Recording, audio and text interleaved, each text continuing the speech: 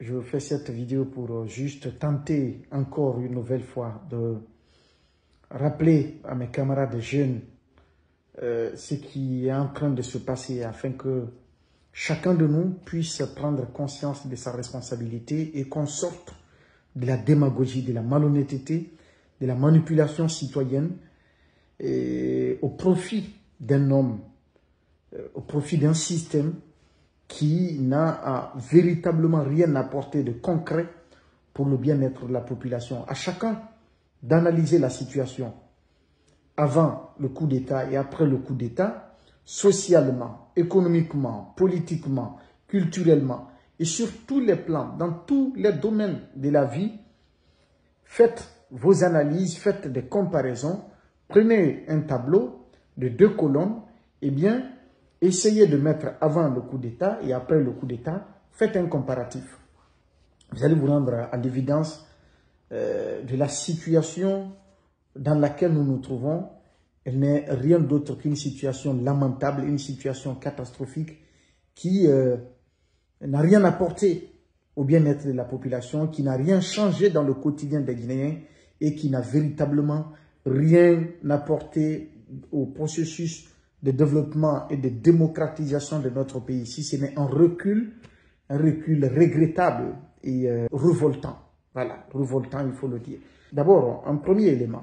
Faites euh, le tour des pays en transition, que ce soit au Niger, que ce soit au Mali, que ce soit au Burkina, que ce soit au Gabon, la Guinée, c'est le seul pays où la photo du président a fini par inonder toutes les rues des grandes villes, des villages et même dans les lieux de culte, si on peut se le permettre, parce que les gens arborent des t-shirts de je ne sais quoi, avec des images euh, avec, à l'effigie, n'est-ce pas, de, du chef de la transition, pour euh, aller dans les lieux de culte. Ça, c'est c'est partout aujourd'hui, des, posters géants, des photos un peu partout. Conakry, on a l'impression que c'est devenu une ville privée qui doit être baptisée désormais Doumbouya-Ville parce que sa photo est partout dans les rues et dans toutes les villes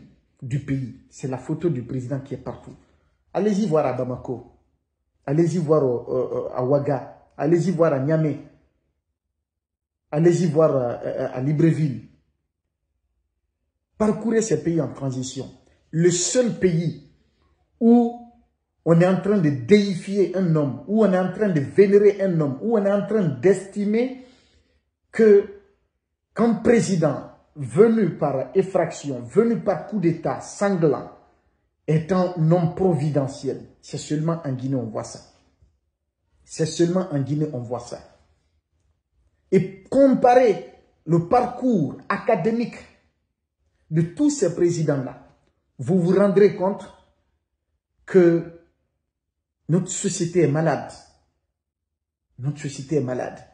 Nous méritons une guérison pour sortir de cette culture euh, malhonnête, pour sortir de cette culture de, de, de la médiocrité, pour sortir de cette culture de mendicité, de démagogie. La jeunesse aujourd'hui, elle est réduite à néant, elle est réduite euh, à la servitude pour justement avoir le quotidien en fait, avoir de quoi manger. C'est regrettable, c'est regrettable. Faites, faites une comparaison.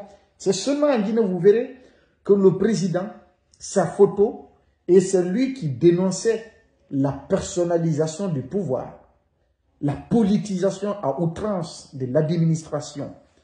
Voyez au Mali, aucune campagne, je dis bien aucune campagne dans les rues de Bamako ou à l'intérieur du pays, où vous verrez les photos de Assimi Goïta euh, postées partout, où les gens défilaient partout avec les photos de Assimi Goïta, vous ne verrez pas au Mali. Au, Niger, vous ne verrez pas pour le général Kiani. Jamais, vous ne verrez pas ça non plus. Dans les rues, poster des photos, poster un peu partout, des, mouvements de soutien, etc., etc., qui, des organisations euh, qui sont là à, tympaniser les gens, des, des activités de troubles à l'ordre public, nulle part. Ni au Gabon, ni au Mali, ni au Niger. C'est seulement en Guinée on voit ça. Ça, c'est un premier élément. Secondo, on est en train de promouvoir aujourd'hui l'avant-projet de nouvelle constitution. Je ne dis pas le projet, l'avant-projet de nouvelle constitution. Et c'est ce qui est pris aujourd'hui comme un instrument par des commis de l'État, par des administrateurs publics, pour sillonner l'ensemble du territoire national avec de l'argent public. Aller, n'est-ce pas, convaincre la population sur l'avant-projet de nouvelle constitution. Je vous pose la question, l'avant-projet de nouvelle constitution, c'est pour le CNRD ou c'est pour le soumettre à l'approbation du peuple souverain de Guinée. Pourquoi vous, vous faites la campagne à la place du peuple? Pourquoi vous voulez faire passer cette constitution à la place de celui-là qui est censé le, valider, le, promulguer, n'est-ce pas, l'adopter ou, pas? Pourquoi?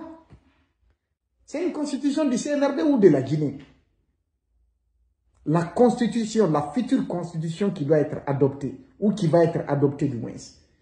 Ce sera une constitution du CNRD ou une constitution du peuple de Guinée.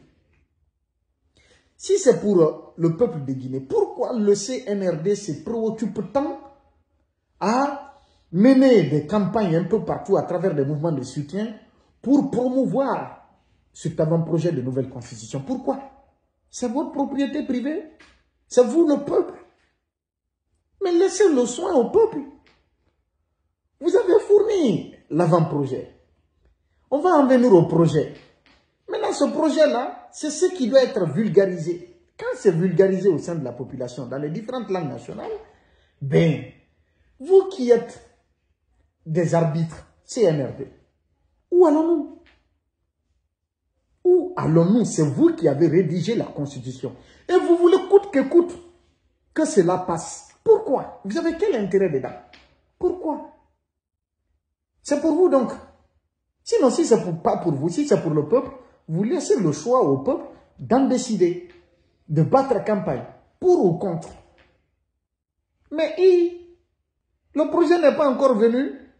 Boum, on prend tout le pays en otage pour dire il faut, il faut, il faut, il faut, il faut valider l'avant-projet de nouvelle constitution. Et, et qui est en train de faire ça? Ce n'est pas le peuple, c'est le CNRD. Et qui, décaisse, qui, qui, qui déploie tous les moyens allant dans ce sens. Des t-shirts ont été fabriqués. Des, campagnes sont en train d'être organisées. Les Guillaume Awing et autres, tous sont en train de se balader à travers le pays. Vous oubliez que la loi anticorruption, la L041, interdit formellement à tout agent public de se servir des ressources publiques pour battre campagne au nom d'un parti politique, au nom d'un mouvement politique ou au nom d'une quelconque activité politique. Vous êtes en train de le faire, vous n'en êtes pas conscient. Au moment venu, vous allez répondre devant la justice. Prenons le cas du Gabon. Vous pouvez voir sur la page de la présidence gabonaise, le comité qui est au pouvoir au Gabon, ils ont fait un communiqué pour mettre en garde tous les partis politiques, tous les citoyens qui ont pris des images du président, se servir des photos du président pour battre campagne en vue de l'adoption de la nouvelle, du projet de, constitution qui doit être adopté par référendum dans euh, les mois à venir. Ils ont mis tous les politiques, tous les citoyens en garde de ne pas associer l'image du président à cela. Que c'est une constitution du peuple et il revient largement au peuple d'en décider s'il faut l'adopter ou s'il ne faut pas l'adopter. Mais à dire qu'ils vont associer lui son image à cela, afin de mobiliser davantage de personnes à voter oui pour, pour ce, projet de constitution, qu'ils ne doivent ni de près ni de loin être mêlés à cela, parce que c'est un processus transparent, indépendant, un processus inclusif où eux, leur comité n'a aucune prise de responsabilité, n'a aucune euh, partition dedans n'a, euh, disons, aucun parti pris, n'a aucune responsabilité dedans, n'a aucune influence dedans, et que le comité qui gère le pays reste équidistant de ce processus-là. La souveraineté revient au peuple, qu'il revient largement au peuple le droit de voter pour ou contre le projet de constitution. Eux, ils ne doivent pas être mêlés à cela. Ils ne sont ni pour la constitution, ni contre la constitution. Eux, ils assurent un rôle de veille du processus inclusif, transparent et crédible, afin que le peuple décide de son destin. Mais chez nous, voyez ce qui se passe.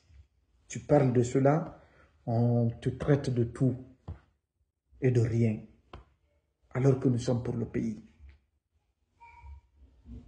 Malheureusement pour vous, vous ne réussirez jamais à nous détourner de ces chemins qui mènent à la démocratisation de ce pays, de ce chemin qui mène au développement de ce pays, de ce chemin qui mène au bien-être des populations, de ce chemin qui mène à promouvoir l'unité des Guinéens, la solidarité et la justice au service de tous, mais pas ce système mascarade qui est en train de nous gouverner aujourd'hui. Pas du tout. On donne l'impression que celui qui est au commande du pays est un Dieu, ou c'est un prophète, ou c'est un Messie, je ne sais quoi d'autre. Vous pensez qu'on gère le pays euh, par, euh, par, euh, par, par fiction? Ça se prépare. Et il faut avoir du gabarit pour le faire. Il faut avoir la tête sur les épaules pour le faire. Qu'on veille considérer ce dernier comme un Dieu. Et que personne d'autre dans ce pays, sur les 14 millions de Guinéens, que personne d'entre nous n'est capable de conduire ce pays vers le développement euh, tant souhaité de répondre aux aspirations légitimes de, ce peuple martyr. C'est une insulte à l'égard de tous ceux qui ont renoncé au banditisme, à la délinquance, pour se donner aux études, ici ou ailleurs, de la première année à l'université, pour être utile à ce pays, qu'on vienne à insulter tous ces gens avec leur diplôme, avec leur savoir-faire, leur savoir-être, leur patriotisme, leur moralité au profit d'un homme que vous croyez eh, eh, eh, vénérable, que vous croyez éternel, que vous croyez omnipotent, omniscient et, omniprésent. Subhanallah. Où allons-nous avec ça? Ces valeurs reviennent qu'à Allah, qu'à Dieu l'unique c'est lui l'omnipotent, c'est lui l'omniscient, c'est lui l'omniprésent. C'est lui seul qui est digne d'être vénéré, lui seul qui est digne d'être adoré, lui seul qui a la perfection. Donc, si vous voulez vous faire plein les poches, parce que ils sont dans cette dynamique-là de, de tenter de manipuler la conscience populaire, faites-le, mais arrêtez de vous servir de la conscience des gens. Arrêtez de vous servir de vos euh, causes personnelles pour euh, les faire passer pour une cause nationale. Ce pays ne mérite pas ça. Cette nation ne mérite pas cette façon de faire. Revoyez vos copies pour que notre pays puisse aller de l'avant. Merci.